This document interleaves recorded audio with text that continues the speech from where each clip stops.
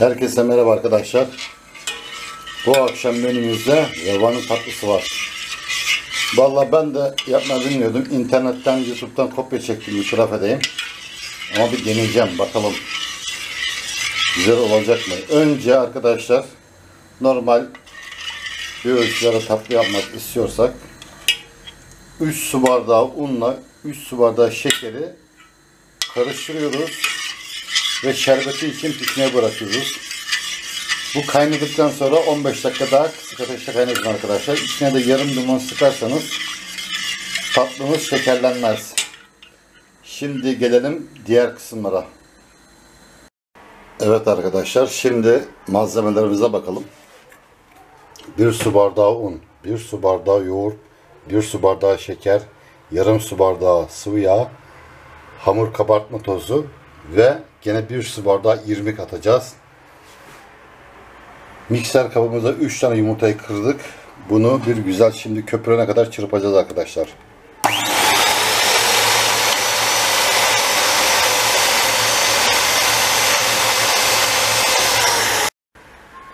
Az bir şey çırpınca şeker atıyorum. Şekerle beraber biraz daha çırpıyorum.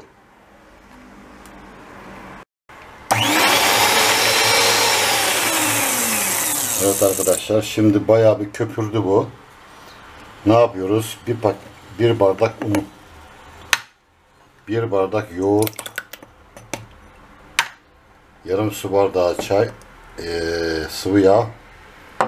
Şimdi irmik de atacağız. Evet, irmiğimizi de koyduk.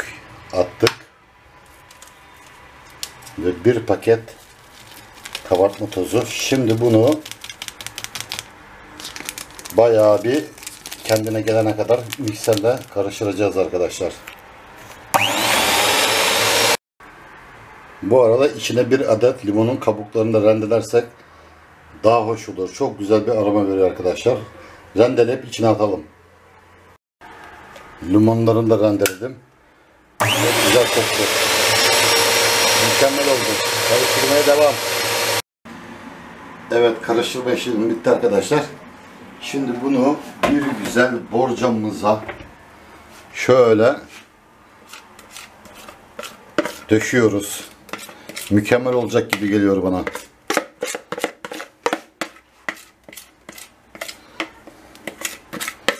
En ufak bir hamur parçasını dahi ziyan etmeyelim arkadaşlar. Ne kadar çok olursa o kadar şişman olacak. Bunu şimdi ne yapacağız? Önceden 180 derece ısıttığımız fırına vereceğiz arkadaşlar ve üstü kızarana kadar pişireceğiz. Hamurumuzu şu şekilde teraziliyoruz arkadaşlar. Ve böyle 180 derece dediğim gibi ısıtılmış fırına veriyoruz. Pişince görüşürüz. Evet arkadaşlar. Tatlımız pişti. Bakalım.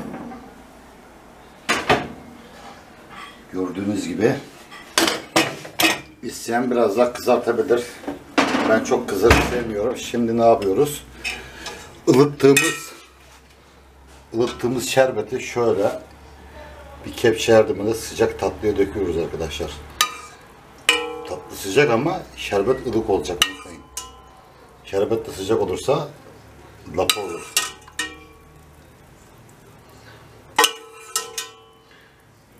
Bütün şerbeti yavaş yavaş çekene kadar döküyoruz. Gördüğünüz gibi pastamız ya da tatlımız suyunu çekti. Ne yapıyoruz? Şimdi buna bir güzel Hindistan cevizi döküyoruz üstüne böyle arkadaşlar.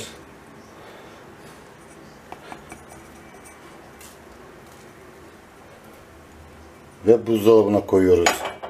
Hepinize afiyet olsun. Evet tatlımızın kesilmiş halini gösteririm arkadaşlar. Gayet güzel oldu. Yalnız borcam bize biraz büyük geldi. Ya bu borcama bire bir buçuk oranında yapacağız ya daha ufak bir borcamda yaparsak bu sefer şişkin olur. Ama gene de baya bir revaniye benzedi.